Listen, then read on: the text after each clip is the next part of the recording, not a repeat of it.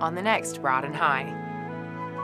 We'll visit a school that teaches its blind students the art and business of piano tuning.